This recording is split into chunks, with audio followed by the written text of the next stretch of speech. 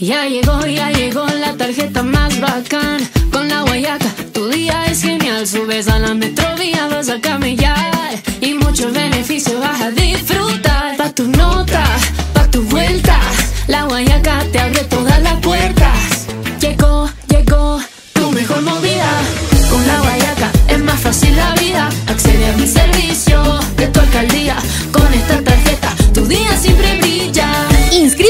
20 de octubre en www.laguayacagye.com para que mantengas tu tarifa de 30 centavos y obtengas más beneficios. Alcaldía de Guayaquil, ciudad de todos. Autorización número 3179. CNE, E, Elecciones Generales 2025.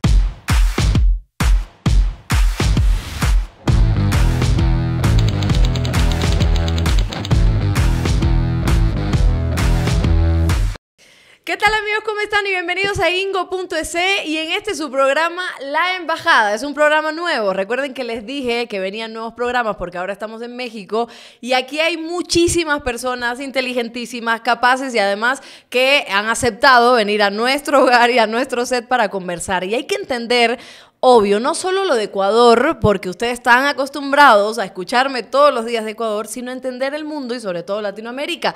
Porque a veces lo que sucede en Ecuador es un vivo reflejo de lo que sucede abajo y arriba, ¿no? Y a veces en el centro, ahora que estamos en México. Entonces, aquí está la embajada y hoy les traigo a dos embajadores, uno de Argentina y uno de México. Lautaro Rivara, no Rivera, ojo, Rivara, está con nosotros, es sociólogo y periodista. Y por este lado acá, a mi izquierda, tengo a Manuel Varese, él es mexicano, sí, mexicano, mexicano, aquí politólogo latinoamericanista. Eso lo aprendí, eso lo aprendí yo hoy. Ah, bueno, yo también. Me encanta esa palabra, latinoamericano. Es como, como para ponerlo en el ahorcado, así, poner L, latinoamericano. Me gusta, me gusta. ¿Cómo están? Bienvenidos. Bien, muy bien. Gracias por la invitación, Alondra. Qué A gusto soltarse, Inaugurar, porque- inaugurar ah. programa.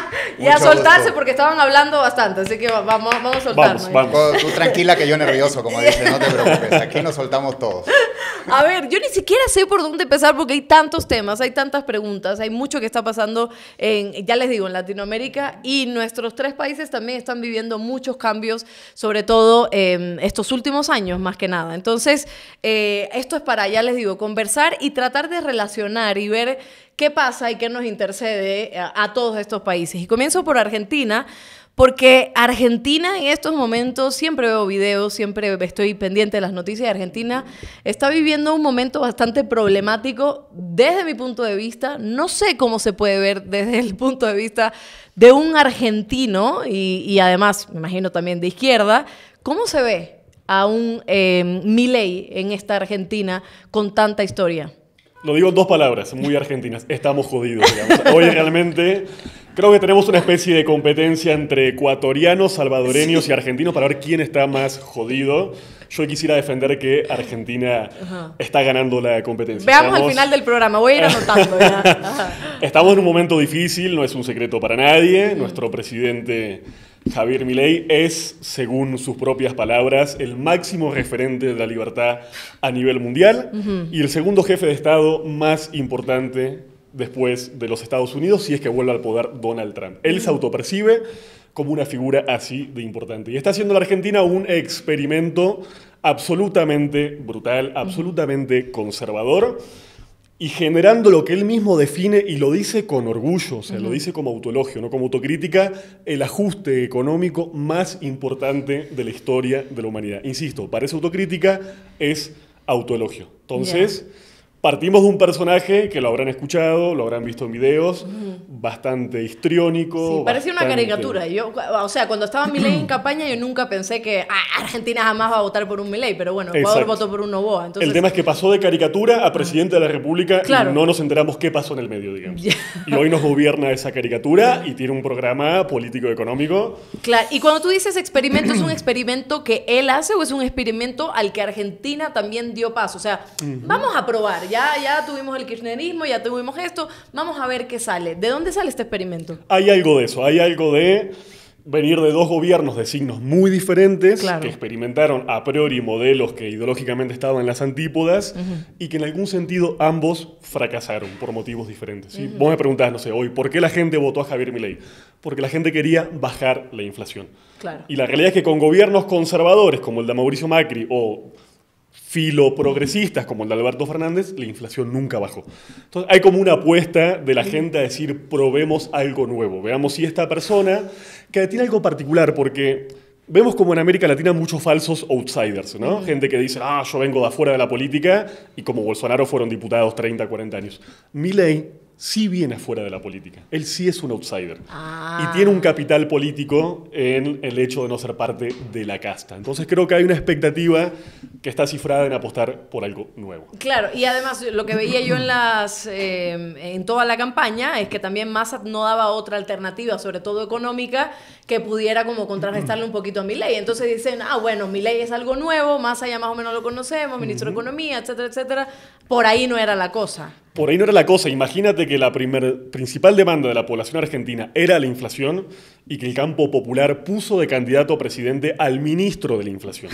claro. O sea, no parece una gran estrategia de campaña ni de marketing Sí. y obviamente la chocamos. Obviamente fracasó. Claro. Eh, son- no sé si son experimentos, porque por ejemplo en Ecuador también, ¿no? En Ecuador vemos que la Revolución Ciudadana, que tiene también eh, eh, muchos adeptos todavía, es el, de hecho es el partido que tiene más preponderancia ya, digamos, pero también ha tomado decisiones que uno se queda como, ¿cómo es posible que se pueda llegar a nivel político en este caso? Pero bueno, voy a poner una pausa en Ecuador para después seguir hablando y voy con la intro acá en México. Por si acaso, todos los que nos están viendo, pongan like, suscríbanse, me olvidé decirles eso, comente, comparta. Estamos en ingo.es aquí en la embajada. Se me van a pegar los acentos, ya casi estaba hablando como Argentina y ahora voy para el de, el de México. Eh, Manu, ¿cómo em, México es, no sé, me dirás, otra cosa completamente diferente a lo que se vive en Ecuador y en Argentina? Tuviste a un AMLO que hasta el día de hoy veo así los puestitos de tacos, AMLO te queremos, eres lo mejor del mundo, y ahora tienes a Claudia Sheinbaum. ¿Cómo podemos entender también todo este proceso de estos últimos años en México? Bueno, muchísimas gracias, la verdad, Alondra. Me parece una excelente eh, antípoda pasar de Ar- Cono Sur, Argentina, a México con lo que está sucediendo, Ajá. porque realmente es como que el otro lado ¿no? de la moneda. Eh, voy a hacer algo que pues va a ser un poco divertido. Quisiera tomar un poco de Argentina para venir a México. Realmente lo que dijo Lautaro concuerdo, ¿no? De repente pusieron como que eh, entre la enfermedad y la muerte, más o menos, en las elecciones, y pues la gente escogió eh, prácticamente la muerte, ¿no? Porque de, si bien este, no era el mejor de los candidatos lo que propuso la izquierda, al mismo tiempo la gente dijo, bueno, pues esta es una forma distinta de hacer política.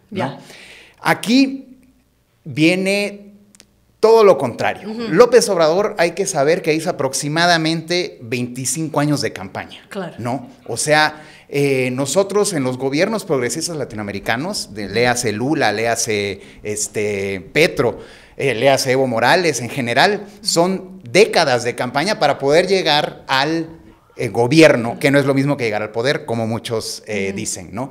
Y López Obrador llega después de haber hablado con Raimundo y Medio Mundo, después de haber logrado eh, este, recorrer todos los municipios de México. Y además de que ya le habían robado dos elecciones, ¿no? Una del 2006, la otra del 2012, que incluso se hizo el plantón en el 2006 y demás. Entonces, hay todo un proceso larguísimo de acumulación de fuerzas populares, de fuerzas que estaban con un hartazgo del exceso de corrupción, de la impunidad, del saqueo. Incluso yo tengo algunos compañeros o que son este, amigos, porque pues uno crece acá en el país y tiene amigos, ¿no? Empresarios que decían, no, es que la corrupción estaba de ya no manches, o sea, todo era, si la mordida antes, mordida se dice aquí para cuánto tienes que dar, ¿no? Para que te den el contrato, o sea, la mordida antes era 5%, pues llegó a pasar al 40%, ¿no? Ah, Ecuador Y es como este- vacuna, ¿no? En Argentina, ¿cuál es el nombre que se le pone? La coima. La coima. La coima, ándale, a la mordida, y todo eso. Entonces, eh, de- dijeron, no, pues ya hay que cambiar esto. Y claro, eh, López Obrador gana de forma aplastante y hace seis años de una de las mejores estrategias comunicacionales políticas que tiene América Latina, que es la mañanera. A lo presidente era un tipo de mañanera de que la hacía eh, Hugo Chávez en su tiempo. Este, Rafael Correa hizo la sabatina, pero era una vez por semana. Este, bueno, López Obrador se dedica todos los días, de lunes a viernes, parado durante dos horas, de dos a tres horas, frente a todo periodista que quiera llegar a decir, bueno, pues qué onda, entonces, es- ¿qué quieres hablar? ¿Qué quieres decirme? ¿no? Y el otro, pum, ping, pong, y, y respondiendo así. Claro. Y eso hace que la gente vea la otra versión, ¿no?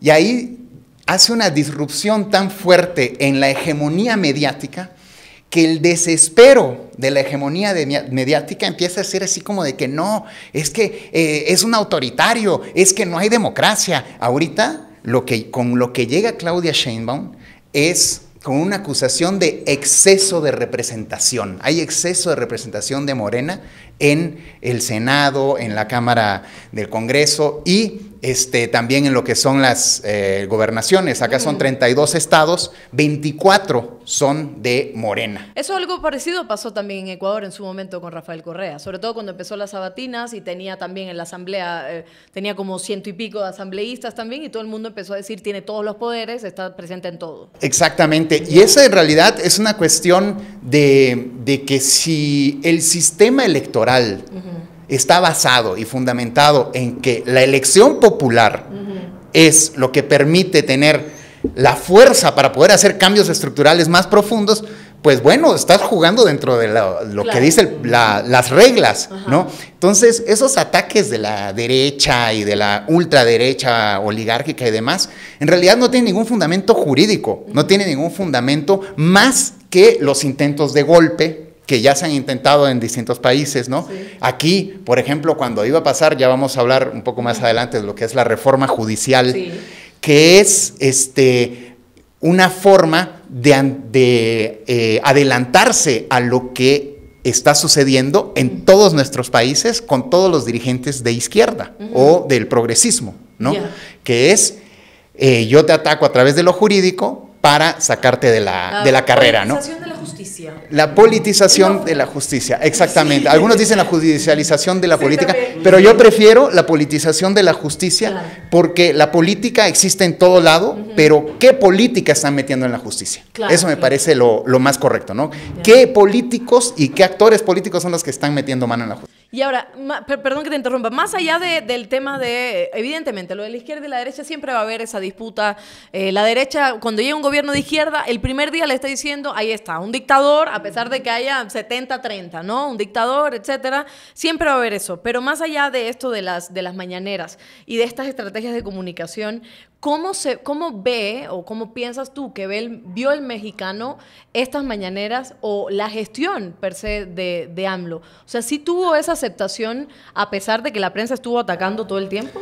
O sea, a ver, no se puede decir que tuvo una aceptación completa Sí. y, y total durante todo el sexenio. Hay momentos muy duros que sucedieron, ¿no? Durante el sexenio y hay cuestiones que no fueron resueltas también, Ya. ¿no? Si bien López Obrador logra hacer varias de las cosas eh, que se había propuesto, entre ellas eh, retomar lo que son los servicios principales como el agua, la electricidad, Sí. Pemex ahora, que incluso Claudia está eh, impulsando para hacer las empresas estatales y que no estén en el marco del mercado y del, y del capital internacional. También se hizo todo lo que eran los programas de bienestar, que es una forma de redistribuir la riqueza. Claro. Él lo logra de forma muy sólida, incluso siendo muy atacado cuando, por ejemplo, acá hay una expresión que se llama los ninis, Ya. ¿ya? Los ninis, Allá también. y se lo, se lo come, allá también, Sí. son los jóvenes que recibían, reciben una ayuda del gobierno Ya. y la oposición decía, es que ni estudian ni trabajan, Ah, son los caramba, ninis, porque claro. ahora reciben eso. Pero en realidad, a nivel sociológico, eh, lo que sucede es que si no estudia, no trabaja y recibe un dinero, eso quiere decir que él por lo menos no está en el, en el Claro. crimen organizado, no está en drogas y no está en eso, y sino que está utilizando eso, pues justo para ver cómo eh, echa su vida adelante. Entonces, toda esta parte de López Obrador fue muy efectiva. Ayudó a los adultos mayores, Claro. este, eh, eh, aseguró lo que es el seguro social también. Sí. Entonces, todo eso logra juntar una especie de convergencia popular diciendo, pues estamos bien, nos Sí. está yendo bien. Y además, los empresarios también ganaron más lana. O sea, más dinero, ¿no? Entonces hay como que él sale con 80% de aprobación tras una gestión de este lado casi, eh, no diría impecable, pero sí muy sólida, muy sólida. Pero hay deudas, la violencia. La violencia en México no se puede negar, no se puede dejar de lado, continúa. La otra deuda gigante que hay es qué sucedió con los 43 estudiantes Claro. de Ay, Ayotzinapa, ¿no? Y no logra este, eh, Alejandro Encinas, quien es una persona de las más sólidas, fuertes y consecuentes de Morena, no logró eh, ser disruptivo al interior de la maquinaria judicial y en este caso militar de lo que realmente sucedió. Ya, ¿no? ok, ok. Y eso, son deudas pendientes y también, por supuesto, el tema de la violencia a las mujeres.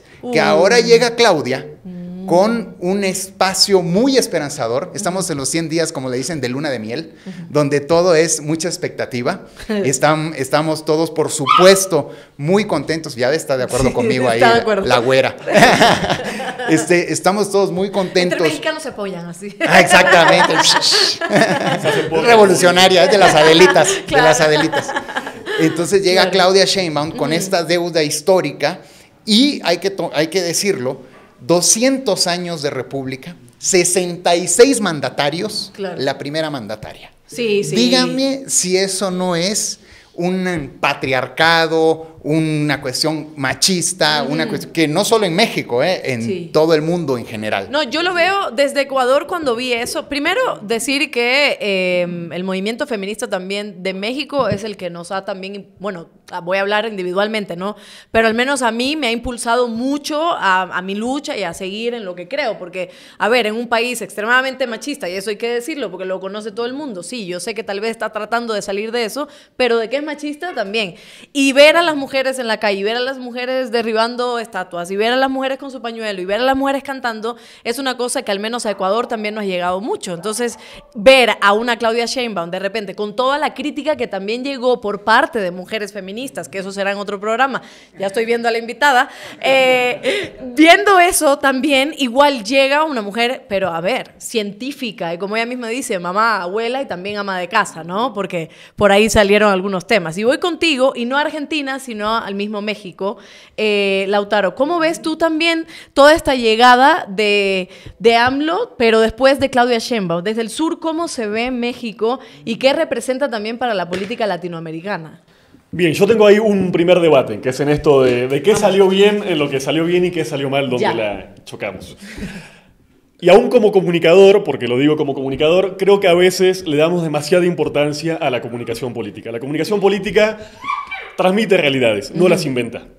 AMLO podría haber hecho mañaneras en vez de una vez por día, una vez por hora. O podría haberlas hecho de 15 horas porque tiene la capacidad de hacerlo. Porque le gusta hablar bastante y, y hace como esas fugas históricas y se va al pasado.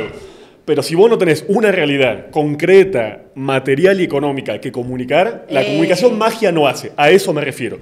Porque en la Argentina hubo balances del tipo, falló la comunicación política, es problema del estratega digital, nos faltaron TikTok, redes.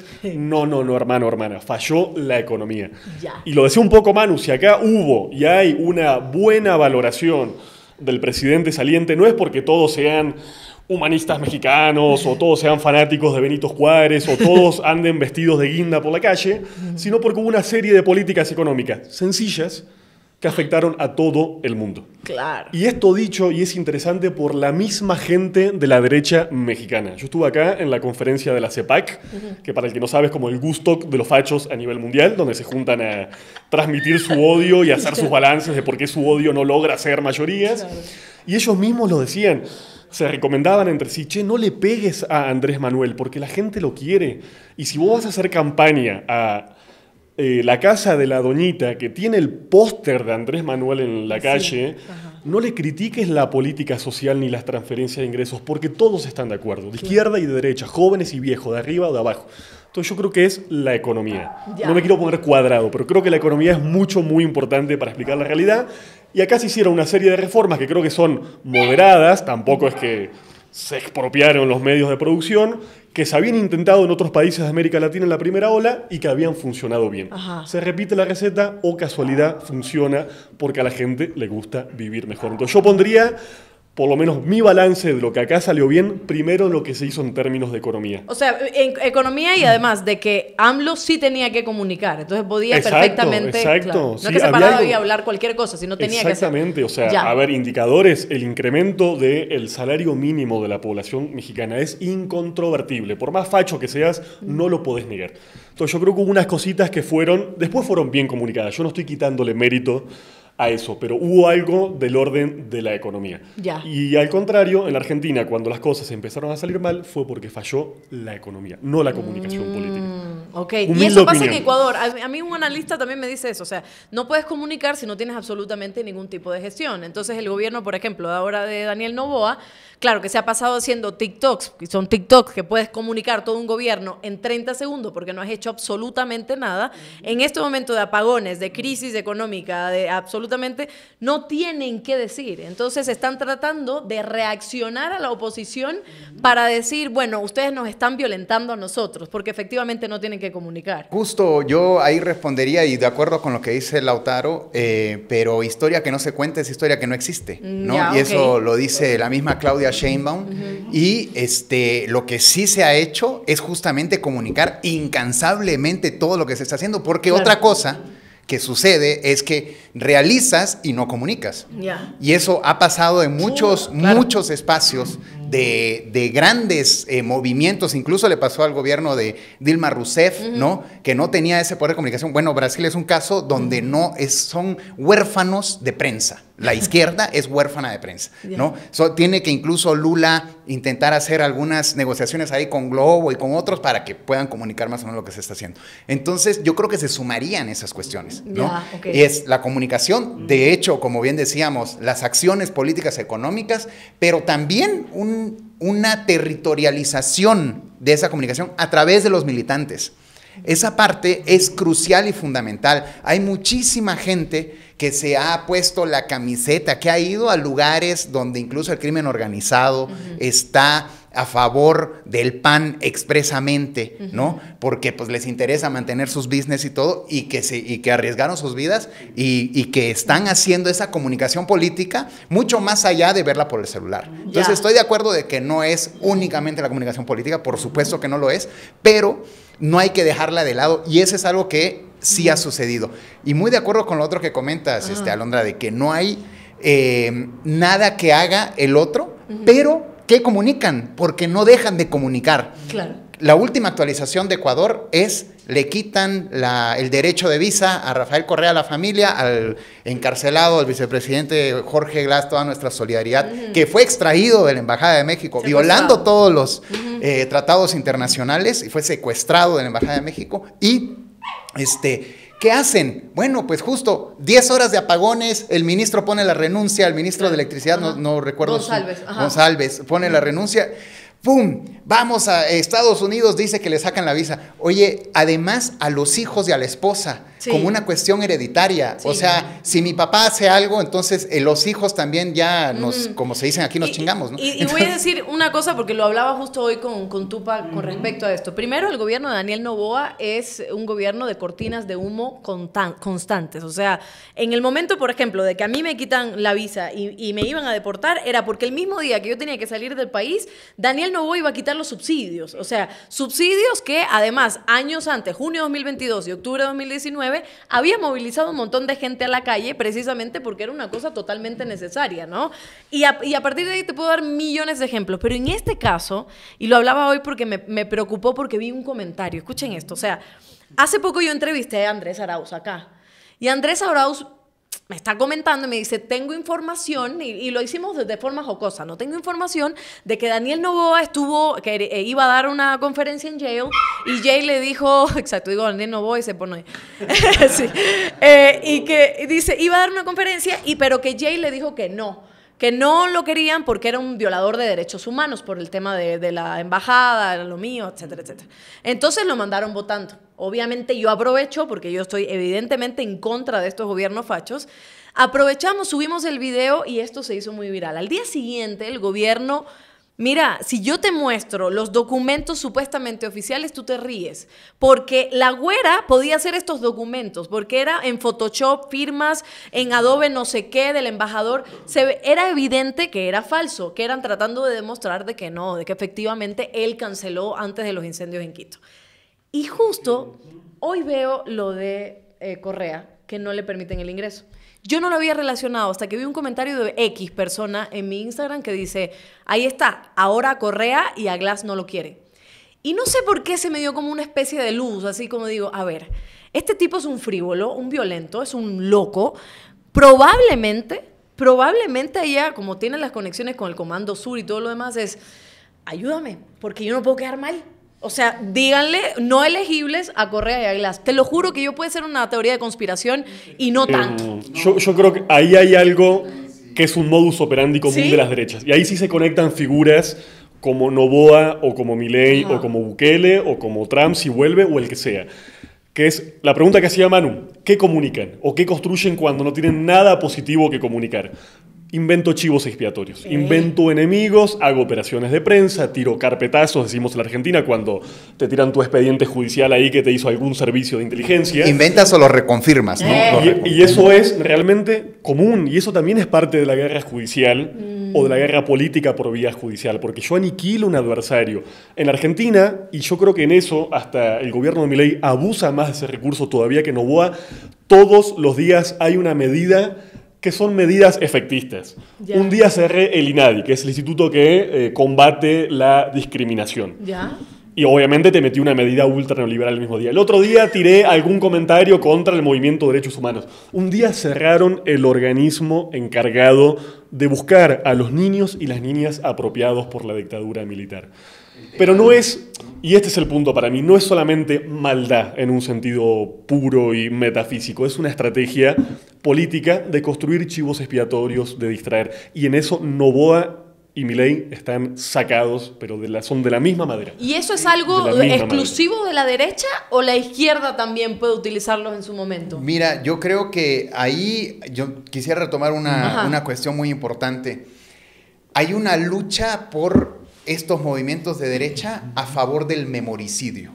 ¿ya? ¿Qué sí. es el memoricidio? Es destruir la memoria colectiva de pueblos y de movimientos y que hace que eh, cuando tú cuentas una historia distinta a la que se ha venido construyendo desde abajo, desde los movimientos populares, de las madres de la Plaza de Mayo, aquí este, desde lo, eh, lo que pasó en 1968 con los estudiantes de. Tlatelolco asesinados y masacrados, más de 300 según The Guardian. este, todo eso, lo que están haciendo es esta derecha decir, eso no importa, incluso vamos a, a olvidarnos completamente porque en el caso de Argentina, ¿no? Si me vas a permitir, se dice, no, también fueron víctimas las víctimas de los terroristas, Claro. ¿no?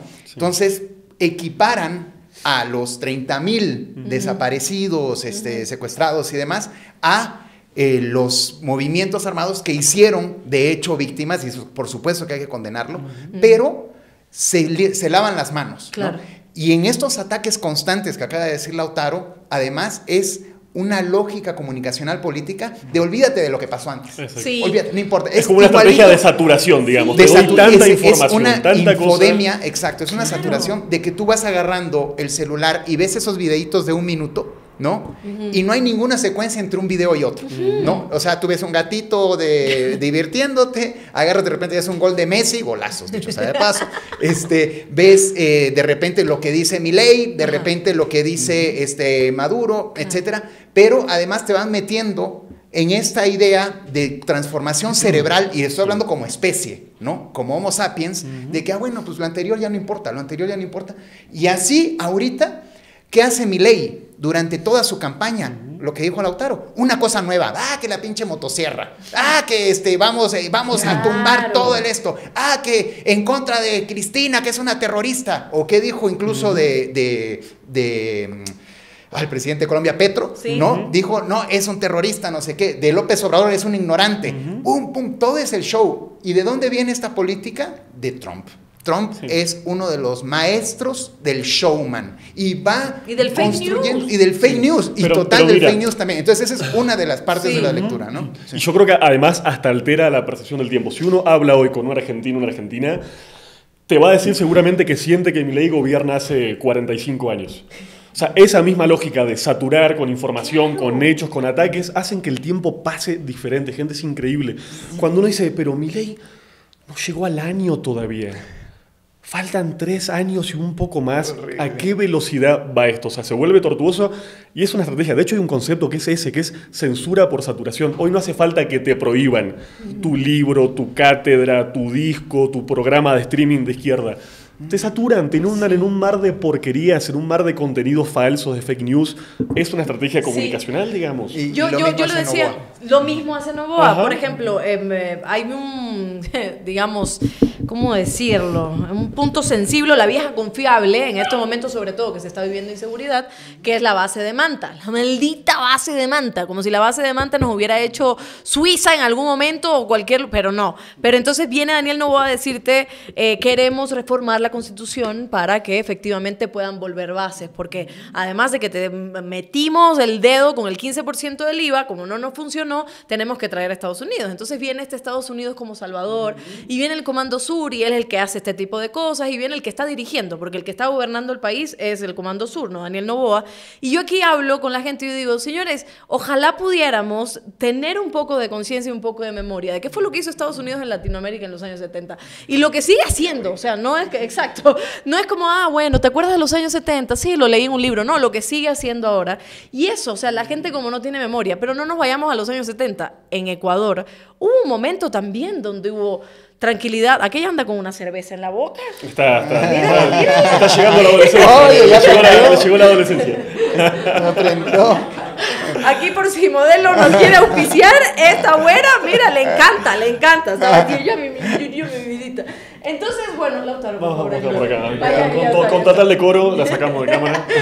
Entonces, claro, o sea, hubo un momento y ahora cuando tú le preguntas a los mismos jóvenes incluso, o no tanto a los jóvenes, a los que vivieron esa época, te dicen, no, para nada, siempre Ecuador ha sido así, o sea, por eso necesitamos un Salvador porque siempre ha sido así. Y esa es la estrategia. Yo, yo sí quisiera, además estoy completamente de acuerdo con lo que has dicho, una cuestión nomás, eso de que la gente no tiene memoria, yo ¿No? creo que no, no es así, no es así. Lo que sí creo es que hay un bombardeo, Sí. un bombardeo continuo, porque no es que la gente no sepa.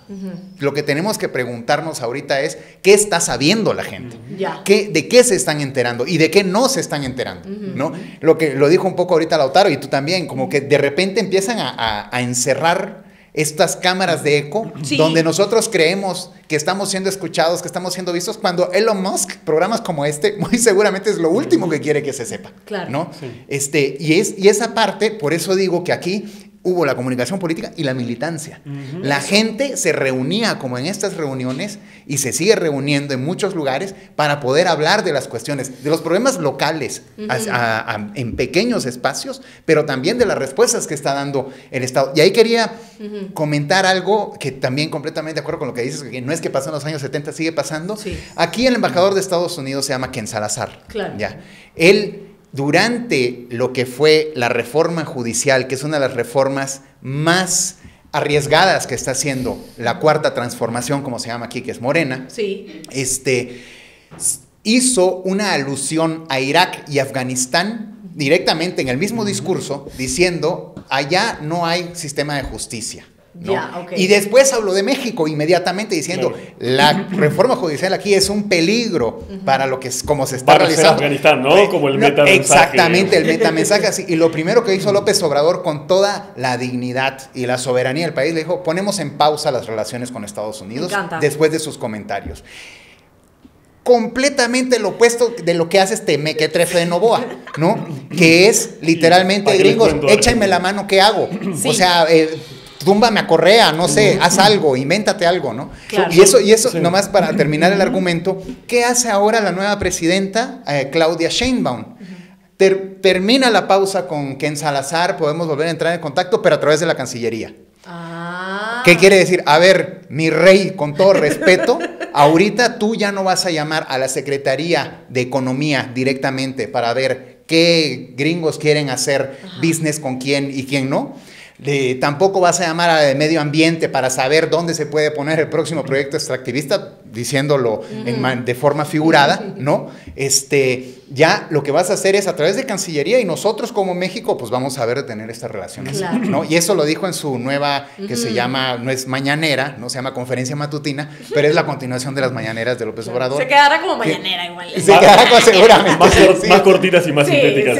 sí, no, Yo, mucho más yo quisiera tomar esa pista porque de vuelta me parece interesante para la comparación, el tema de Estados Unidos y militarización. Yo creo que México es uno de los países que se pregunta cómo salir después de tantas décadas de guerra contra el narcotráfico, guerra sucia, militarización de territorios. ¿Se está haciendo bien o mal? Y ahí coincido con algunas cosas que decía Manu que hay que balancear, me parece más críticamente. En el resto de los países donde están gobernando gobiernos de extrema derecha, el camino es el contrario, nos están queriendo militarizar. Les doy información muy, muy, pero muy fresquita. Nuestro ministro de Defensa acaba de anunciar que la Argentina va a mandar militares a una fuerza multilateral conjunta que supervisa el estrecho de Hormuz, que si no saben dónde queda, queda entre el Golfo de Omán y el Golfo Pérsico. Por ahí pasa cerca de un tercio del petróleo mundial. Zona que está en conflicto porque los hutíes de Yemen están atacando las barcazas en solidaridad con la lucha del pueblo palestino. El gobierno de Argentina está mandando militares para allá. ¿Qué tiene la Argentina que ir a hacer a pelearse con los hutíes de Yemen al estrecho Hormuz? Absolutamente nada. ¿Y eso por qué pasa? Porque nuestro presidente tiene un alineamiento ideológico con los Estados Unidos que además está absolutamente trasnochado. O sea, él se imagina un Estados Unidos de, de la Guerra Fría, digamos, de la década del 70, del 80, del gobierno de Reagan, un Estados Unidos que además no existe. Y además tiene un alineamiento que para mí es más problemático, que es confesional con el Estado de Israel, porque el presidente Milei se está convirtiendo al judaísmo. Entonces, esta gente está confundiendo su credo personal y su amor personal por los Estados Unidos con los intereses de millones de argentinos. Y nos quieren llevar a escenarios de militarización, de territorios, de conflicto, de violencia que Argentina felizmente, aún con todos nuestros problemas económicos, no tuvo. Nosotros no tuvimos los problemas de violencia históricos que tuvo México, Colombia, parte de Centroamérica. Es una de nuestras todavía bondades relativas y las quieren destruir. Ya. Y en eso, un vínculo muy estrecho y subordinado a Estados Unidos. Eh, Totalmente claro, claro, claro. Es el, el ser totalmente subordinado, que de hecho en muchos de los, ahora los discursos que se dan en Ecuador es que si tú no tienes visa de Estados Unidos, eres un inservible. O sea, no puedes, de hecho, un consejero del Consejo de Participación Ciudadana y Control Social dijo, ¿cómo vamos a tener una vicepresidenta que no tenga visa de Estados Unidos? Y tú dices, Jesús bendito, o sea, como si eso fuera ya una categoría para tú ser un candidato o ser ya elegido presidente. O sea, si Estados Unidos no te avala, no te apoya, no está ahí para gobernar, co-gobernar contigo, entonces no puede. O sea, simplemente. Y, y el sentido, eso solo algo quería agregar antes de tocar un tema importante que es el tema de los militantes. Nosotros lo hablábamos también aquí en el programa, y es que México también, en ese sentido, no sé Argentina, me lo comentarás, es que México también tiene un sentido de soberanía, pero estupendo, que no sé la historia, no sé cómo lo ha determinado de esa forma, pero en México el tema de la soberanía, el tema del sentido de patria, el sentido de país, sentido de orgullo, también es como un ejemplo para los demás. Por ejemplo, yo vi cuando Claudia Sheinbaum asumió el poder, o el gobierno como tal, no vino el rey de España. ¿Por qué tiene que venir el rey de España si no ha pedido disculpas con todo lo que le hizo también? ¿Verdad? Y tú dices, jamás, jamás un Novoa se va a atrever. ¿Cómo no va a invitar al rey de España? ¿O cómo no va a invitar a un embajador? ¿O cómo va a perder esa relación? Entonces, el sentido ese de orgullo, que no es un orgullo totalmente subjetivo, sino que tiene mucho que ver con cómo gobiernas tú, lo, creo yo que en Ecuador se ha perdido muchísimo, muchísimo desde hace siete años aproximadamente, y hay que decirlo, se ha perdido, porque recordemos que el gobierno de Rafael Correa fue muy tajante con decisiones que tomaba también Estados Unidos, con temas de tratados de libre comercio y todo lo demás, y les dijo, a ver, espérense un momentito, o sea, aquí no. Y aún así el otro día ponía en la carta de que trataba de ser lo más conciliador y que la culpa era de él. No lo sabemos, ¿no? Pero digamos en ese caso. Pero antes de volver, de, de seguir con ese tema, los militantes. Y hay una cosa que a mí me quedó en la conversación que tuvimos la otra vez que estábamos en grupo. Porque todo esto es la continuidad formal de, Sí, de- eh, sí, sí. de cosas que fueron por otro cauce, ¿no? Con algunos mezcalitos también. Es la que lo blanqueemos. Chicos, suscríbanse, sea parte de la membresía. Espero que les esté gustando también este programa La Embajada. Por ahí vieron a la güera que me destruyó una pluma que he tenido por más de un año, pero bueno, ya, ya no existe, pero estaba emocionada. Ahora, Esto a mí me gustó mucho que tú mencionaste, que es el tema de la organización. O sea, eh, y tú hablabas de militantes, o sea, no es solo la comunicación política, sino militantes. Y la organización es tan importante precisamente, sobre todo esa organización de izquierda en ese sentido, para poder volver o llegar al poder, etcétera. ¿Cómo podemos entender esta organización en Latinoamérica, sobre todo en los países en los que estamos aquí? ¿Cómo la entendemos? Y, por ejemplo, te pregunto, ¿qué falta? Si México lo tiene y ya tiene una Claudia Sheinbaum también por los militantes, ¿qué le falta a Ecuador también en ese sentido? Sí, yo creo, y era lo que charlábamos el otro día, que balancear un proceso histórico, un gobierno, un proceso de cambio, también tiene que considerar qué pasó a nivel de si la gente está organizada, digamos. No solamente confiar en que nuestro líder mesiánico y carismático, que los tenemos, los amamos, los necesitamos y los Sí. generamos creando, no alcanza con eso. Hace falta generar algo. Porque el líder, la lideresa, te la puede meter presa. Claro. Porque el Laufer hace eso. O sea, si el Laufer es tan eficaz, es porque saben que somos dependientes de nuestros liderazgos históricos. Y que si yo saco la cúpula, se me derrumba el castillo de naipes. Donde hay organización, donde hay sindicato, donde hay movimiento, donde hay partido, comunidad vecinal, club de barrio, iglesia de base, el nombre que quieran, a mí no me importa cuál forma, los procesos, se ha demostrado, son más resistentes. Bolivia tuvo un golpe de Estado en el año 2019 Sí. organizado por los Estados Unidos, con participación militar de la OEA y de un montón de intereses muy opacos que podrían llegar hasta Elon Musk, que quería el litio boliviano. De manera inédita, en un año apenas, ese golpe fue revertido. ¿Por qué? Porque Bolivia, al que le tumbaron su gobierno, tenía federaciones, sindicatos, movimiento social de masas y fue esa gente en la calle la que restauró la democracia. No fue la OEA, no fueron las Naciones Unidas, no fue un pleito, no fue quejarse, no fue apelar a la racionalidad del enemigo o el adversario, fue la gente en la calle. Yo creo ¿Cómo que... se logra esa organización? ¿Cómo se logra? Bueno, ahí hay tradiciones históricas, digamos, y cada país tiene la suya. Yo doy fe que en Argentina hay un enorme nivel de organización que viene de nuestra tradición, que se remonta en principio al peronismo, que fue una concepción de Estado y de gobierno que creía que la gente tenía que estar organizada. Ya. Que la interpelación Estado-persona no era como individuo liberal, eh, autónomo, como eslabón libre, era como colectivo. Ya. El Estado hablaba con tu sindicato, hablaba con tu organización barrial, con la Federación de Mujeres. Tenemos esa memoria. En otros países hay otras y yo las respeto. Lo que no podemos soslayar es que eso es importante. Y yo lo que a veces creo, y con esto como no es mi país soy muy cauteloso, creo que en Ecuador a veces hubo una especie de desfase entre un montón de conquistas. Uno ve la constitución de Ecuador y es como la de Bolivia, un ejemplo Sí. no para América Latina, para la humanidad. A mí me parece conmovedora. Haber establecido derechos de los pueblos indígenas, colectivos, de la Derechos de la naturaleza, naturaleza, claro. es un legado para la humanidad. Eso yo, a mí me, me llena de gratitud incluso como latinoamericano. Ahora, para que eso se sostenga, tiene que haber algo organizado a nivel de calle. Yo creo que en Ecuador es el movimiento indígena. Pero el movimiento indígena de Ecuador no es como en Bolivia el 60, 65, 68% de la población. Entonces hacen falta otros movimientos si queremos sostener los procesos de cambio. Ya. Humilde opinión. Me- a ver, necesito que me prestes tu pluma. No te- Ya Hace no estamos robando cosas, Sí, esto ya es un despelote, esto ya, esto ya se desmadró completamente. Este, hace falta otros, ya. Y, y en ese caso, ¿cómo ves tú? ¿Cómo valoras tú el tema? Primero te pregunto desde Ecuador, porque también sé que tienes mucho conocimiento con lo que pasa en Ecuador, pero ¿cómo ves esto de la organización en Ecuador? Y además, guiarnos un poco de cómo es esta militancia también en México, que logró también que Claudia llegara, ¿no? Después de un AMLO, que pudo haber un cambio, o sea, no era como decía la prensa, que AMLO, el dictador, el que se iba a quedar, AMLO, AMLO se fue, dejó y ya, ¿no? Pero pudo haber un cambio terrible para México, ¿no? Totalmente. Este, bueno, yo voy a comenzar por uno de los puntos que dijiste, que es lo del rey de España. Sí. ¿no? Que me parece genial lo que, que hayas tocado ese punto, porque la corona española sí estaba 500 años atrás. Sí. La corona española es una institución que pervive y sobrevive desde aquel entonces. Entonces no estamos solicitando que un país que hizo una revolución en contra de como lo hizo Francia y que decapitó a la corona que pida disculpas por, por esto, que también se podría hacer. Es la misma institución la que está se está pidiendo, oye, aquí hubo exterminio, saqueo, eh, violaciones, de todo, ¿no? No quieren reconocer, como ya ha reconocido incluso apenas... eh, eh, accedió Claudia Sheinbaum a la presidencia, se reconoció lo del 2 de octubre de Tlatelolco, ¿no? Entonces, al no querer reconocerlos, justo esa es una forma de decirles, bueno, señores, pónganse al nivel de donde está la historia, ¿no? Y si no quieren reconocerlo, ya ves, está de acuerdo conmigo.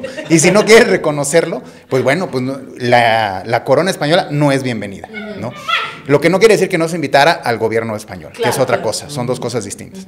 Este, entonces, tomando ese punto, ya pasando a la parte de la organización, yo creo que en Ecuador efectivamente eh, los más organizados son los indígenas y en todo sentido, ¿no? Yo tuve la Que tomaron oportunidad... tres gobiernos en 10 años. Claro. ¿Ah? Que tomaron tres gobiernos neoliberales. Exactamente, en 10 años. En América Sí, so- eh, solamente ese, ese sector. Ahora, ¿qué sucede? Este, no ha habido, lamentablemente, como un crecimiento de esa organización hacia otros sectores políticos que no son necesariamente los indígenas, ¿no? Y al mismo tiempo, eh, esta falta de coordinación y de ceder en favor de un movimiento político más amplio que logre derrocar esta derecha extractivista, neofascista, durísima contra todos los movimientos, es también culpa de todas las izquierdas que están ahorita en Ecuador. Ya, y eso, y eso, eso yo lo quiero decir así, con las consecuencias que sé que conlleva, porque, porque no podemos poner nuestros egos y nuestras visiones por encima de toda la gente que está pasando por el Darién en Panamá huyendo de la miseria ecuatoriana. Eso no debe ser una elección. Nosotros lo que tenemos que saber es que lo más importante ahorita es que no gane otro gobierno, que siga echándole la culpa a todo lo que es Correa, a todo lo que es la Revolución Ciudadana, a todo lo que son los líderes exiliados de la Revolución Ciudadana, que además es una estrategia, como ya de cierta forma le decía Lautaro, antes, en los años 70, se echaban a 10 mil personas. Tenías una organización de derechos humanos, incluso evangélica o católica o cualquier cosa así, boom, te perseguían. Ahora ya aprendieron, ¿no? A perseguir solo a las cabezas, a los que son lideresas y líderes políticos que dice, ya pues ya con estos vamos desarmando, Sí. ¿no? Vamos desarmando. Y la gente que se queda, por supuesto que hay un temor muy fundado, muy fundado de decir, ¿hasta dónde puedo este, menear en cuestiones políticas? Si no te meten preso, como hicieron con Jorge Glass, como hicieron con Paula Pavón, como hicieron con el compañero Cristian. Sí, y ahora esto justo viene eh, un proceso de unión de izquierdas, sobre todo en Ecuador, ¿no? Y, y- y esto de los egos es importantísimo, porque cuando hablamos de eso, los mis seguidores también, como que no les gusta que a veces hablemos de estos temas. Movimiento Indígena tiene una organización que a veces, y tengo que decirlo, claro, a veces a mí me desespera porque yo digo, ya hay que tomar, ya hay que hacer, ya hay que eh, tomar acciones, sobre todo con esta rapidez, porque miren a Novoa lo que está haciendo en 11 meses, ¿no? Lo mismo prácticamente que Milei, está destruyendo un país entero. Pero claro, por ejemplo, cuando entrevistábamos a Leonidas Isa, Leonidas decía, yo no puedo firmar nada hasta que yo no hable con toda la CONAIE, hasta que yo no hable incluso con la derecha de la CONAIE, porque también hay ese, ese, ese eh, sector en este movimiento, ¿no? Pero ahora veíamos lo de la Unión de las Izquierdas en Ecuador, que para nosotros fue maravilloso, sin embargo no se dio como queríamos. Esperemos que en estas eh, elecciones, sobre todo, haya un apoyo, porque hay algo que tú mencionas, el tema de los egos. Si nos ponemos a ver, primero, el nulo ideológico, que es totalmente aceptado, es parte de la democracia, yo nunca he estado, no quiero estar en contra de eso, pero el nulo ideológico es el que puso también a un Guillermo Lazo. Pero por otro lado, muchos de estos eh, personajes que se dicen de izquierda apoyaron directamente a Guillermo Lazo. También apoyaron directamente a Daniel Novoa. Entonces, toda esa depuración, como decía Leonidas Giza, tiene que existir en el movimiento indígena. Pero por otro lado, la RC también tiene que reconocer muchísimos errores. Porque si estamos hablando de una izquierda, del movimiento indígena, que es un movimiento tan tal vez no como Bolivia, pero importantísimo, sobre todo por una cuestión de mestizaje, una cuestión de sangre, una cuestión de que pertenecen a ese territorio. O sea, también fue muy violento en su momento contra estos movimientos que tenían total legitimidad de salir a las calles y decir, pana, no estoy de acuerdo con, con, tu- con esta precisa forma de hacer izquierda. Entonces, ¿cómo, cómo podemos pensar? Primero, en reconocer errores, dejar un poco los egos, como decía el Manu, pero también poder realmente unir la izquierda. Mira, yo creo que en algunos países eh, circula una frase que a mí me gusta que es la unidad hasta que duela. Ya. Si no duele, si no molesta, si no incomoda, no es tan unitario. Y yo creo que sería sano que los progresismos y las izquierdas cada tantos años revalidaran una vieja institución cristiana, que es la del jubileo. Es decir, cada tanto tiempo nos tenemos que juntar y perdonarnos las deudas Ya, claro. y las ofensas. Todo delito prescribe, todo error que todos los hemos cometido, todas las hemos cometido, prescribe. Si queremos hacer reuniones de unidad para hacer un pase de facturas, vamos a llegar a Hernán Cortés o mucho tiempo antes, digamos. Claro. Entonces creo que ese es un aspecto. Sobre Ecuador puntualmente, yo sentí, insisto, no es mi país, pero creo que un poquín lo conozco, lo he visitado, lo he andado, me parece muy interesante como país. Yo siempre sentí que con el movimiento indígena no alcanza y sin el movimiento indígena no se puede. Creo Exacto. que por lo menos para hacer una serie de transformaciones profundas, eso tiene que estar sobre la mesa. Si tal liderazgo, si tal confederación no me gusta, yo lo puedo entender, es parte del debate que se da puertas adentro, digamos. Pero en términos, y me pasa como analista, como sociólogo, viendo esa sociedad ecuatoriana, creo que sin los indígenas no se puede. Y siento que a veces en Ecuador se le pide al movimiento indígena que haga la parte difícil, oigan, vayan, tomen Quito y tumben al presidente, Sí. y después eh, el presidente, el gobernador, la figura de acá, lo ponemos los güeritos, digamos, Ajá. los güeros como se dice acá en México, la gente blanca. Entonces, ustedes hagan el trabajo sucio, heroico, hagan el cerco, movilícense, cáguense de frío, pasen hambre, tumben al presidente, cómanse los gases y las balas. Y después gobernamos nosotros. Sí. No es mi idea de unidad, no es mi idea de democracia, y creo que ni siquiera eso es lo que expresa el espíritu tan hermoso de la Constitución de Montecristi, que es un país para todos y para todas. Una constitución que en este momento también eh, salen estos fachos a decir que es lo peor que ha podido pasar y que mire cómo es posible que se den tantos derechos, porque los derechos mole bebé derechos, me salió un poquito la Eh, Me salió un poquito. Chuta, y a mí que Pero- me salió también de todo, mano. Yo sé, ya no sé qué es. pero- Es, que embajada, es la embajada. La embajada. Los, los embajadores seguimos conversando con Lautaro y Manuel y, y vamos otra vez porque lo- los he utilizado, tengo que decir, los, los he usado, no utilizado, los he usado para poder entender un poco qué pasa en mi país, Ecuador también. Pero, este, por ejemplo, en esto de la unión de las izquierdas, analicemos un poquito también a Colombia. Recuerdo, y, y no estoy enterada de todo lo que sucede también en Colombia, pero recuerdo que decían, Petro también llegó conversando con esta derecha también, ¿no? No solo con la izquierda, sino conversando con la derecha. Y cuando pasaba la unión de las izquierdas en Ecuador, el mismísimo Correa decía, hay gente que está ahí que de izquierda que yo ni siquiera quiero hablar, que prefiero hablar con la derecha. Pero este concepto que tenemos a veces nosotros como de izquierda pura, no sé qué, ¿cómo, cómo puedes hablar como un facho? O sea, ¿cómo puedes realmente unirte a esta persona? ¿Cómo, ¿Cómo podemos también, para poder ganar terreno en estas elecciones o en las que vengan, poder hablar con este sector también un poco conflictivo, ¿no? Que después nos pueda hacer el golpe, ¿no? Creo que eso es difícil, digamos, y ahí tenemos experiencias más o menos felices, ¿no? Depende. A ver, en el caso de Colombia que vos citabas, efectivamente Petro hace una alianza muy amplia y Sí. cuando llega al gobierno hace a nivel parlamentario una alianza de unidad que dolía, o sea, do- dolía en la memoria histórica del pueblo colombiano con sectores conservadores de derecha que fueron parte de la política paramilitar.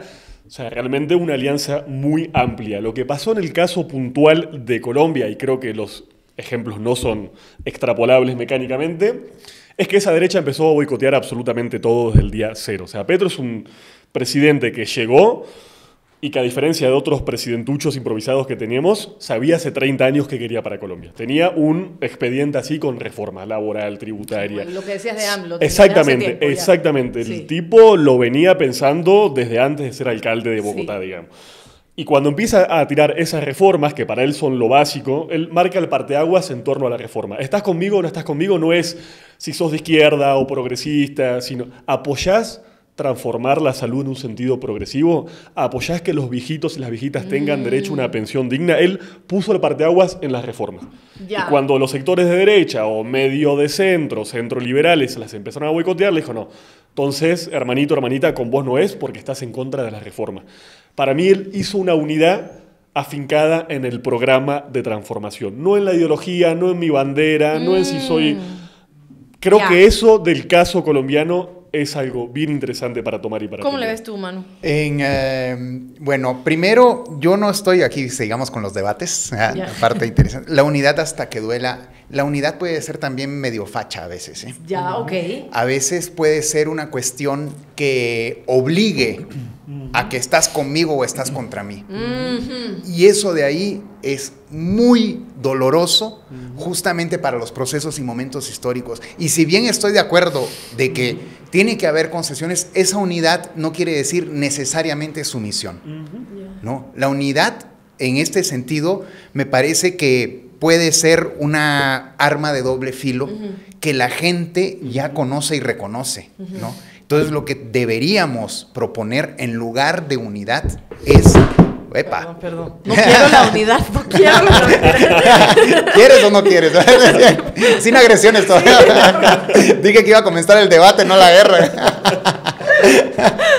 Este, que en lugar de unidad quería proponer convergencias, ¿no? Ya. En lugar de unidad quería proponerle el respeto a saber que vamos a tener entendimientos diferentes sobre ciertos puntos. ¿no? Ya, ok. Y eso permite... Y sincerarlos desde el principio. Y sincerarlos, es que se necesita sincerar, porque si no, después terminas aplicando algo que en la mesa de debate no estaba. ¿no? Y eso muchas veces se lee como traición, que hay que tener muchísimo cuidado con la palabra traición, porque quién traiciona, quién no traiciona, etcétera. Entonces, yo creo que movimiento indígena, por ejemplo, también ha aprendido de eso, ¿no? Sí. A decir, óyeme, ¿cuántas veces este, quedamos en A, B, C, D, E cosas?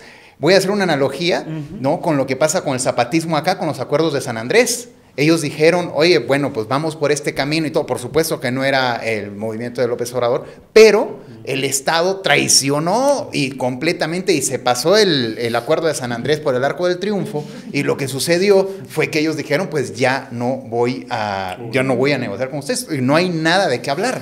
¿no? Y ahí siguen los compas zapatistas. Este, en Ecuador, yo lo que, lo que veo que debe suceder es justamente esta convergencia de necesidades históricas que tiene el país.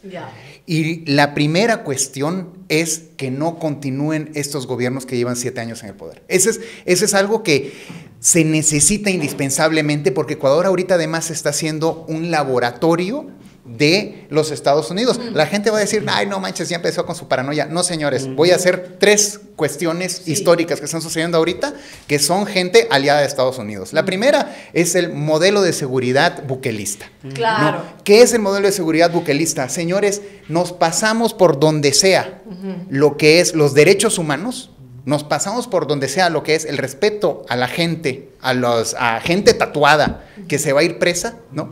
Y este, a, a pesar de eso, vamos a ser un país seguro. Claro. Entonces, terminas haciendo eso. La otra cuestión, y tú lo tocaste un poco, Israel bombardea la embajada de este, Irán en Siria En Damasco, exactamente. en Damasco, ¿no?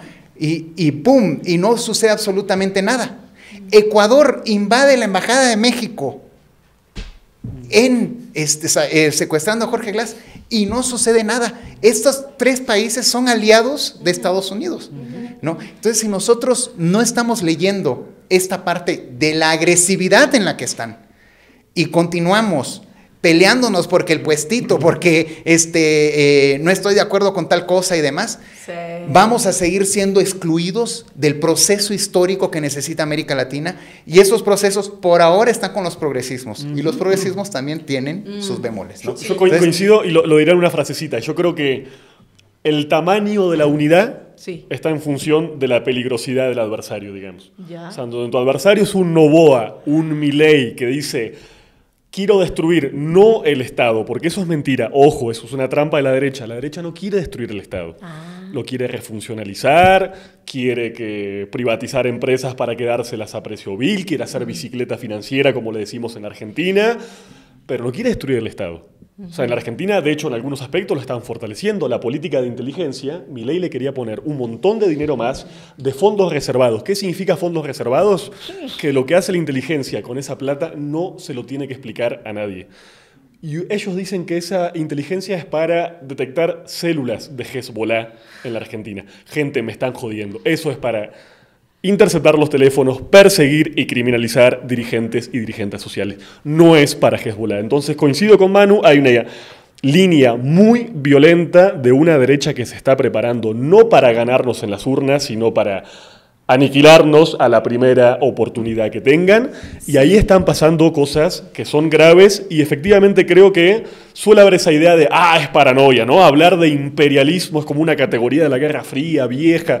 No, esas categorías todavía explican muchísimo de lo que pasa en nuestro país, más si los gobiernan las derechas. Sí, y, nomás hago la conexión con Colombia, que justamente ahorita el lofer está llegando de una manera también tan brutal donde ya sabemos que muchos de los jueces que hicieron las persecuciones políticas para todos nuestros líderes se fueron a Estados, Unidos, para que regresaran y dijeran, bueno, pues ahora lo, aplicamos y postergamos. Entonces en Colombia realmente es uno de los procesos mucho más progresistas hacia la izquierda que hay, ¿no? Eh, y ahorita se acaba de entregar algunas tierras a campesinos que los había... Eh, eh, ahuyentado el paramilitarismo de ahí, el Estado está comprando tierras a latifundios gigantes que el Estado no tiene tierras. El Estado tiene que comprar tierras para regresarse a los campesinos. Entonces están haciendo todo un... No, eso es lo peor que le puedes hacer a la derecha facha dirigida por Estados Unidos. Devolver la tierra a la, gente. A la gente. Eso ya es un dolor de cabeza para ellos. Olvídate, exactamente.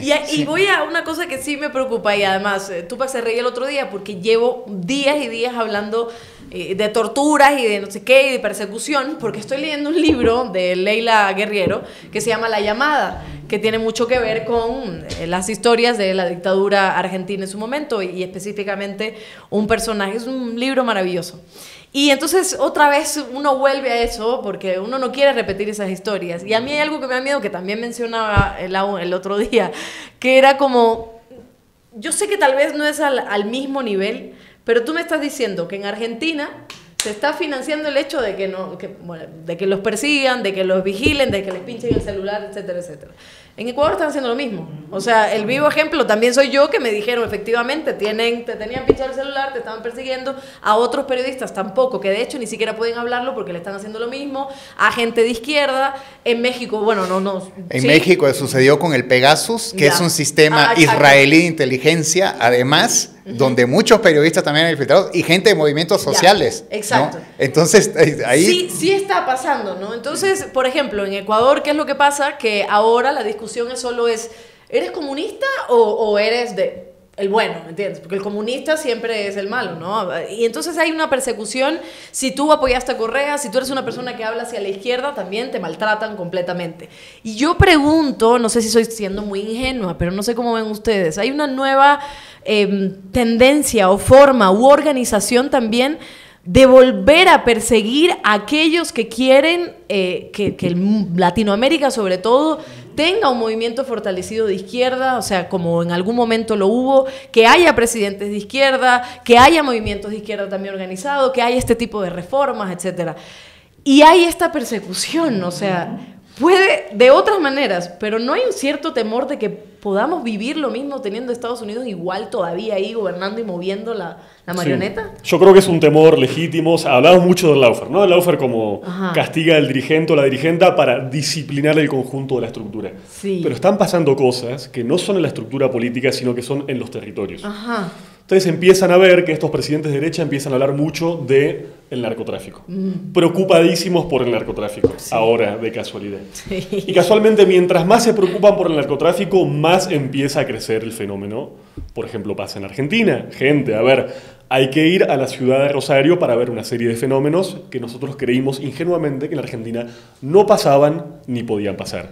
Niveles de violencia, de bandas armadas, de decapitados, de crímenes realmente truculentos.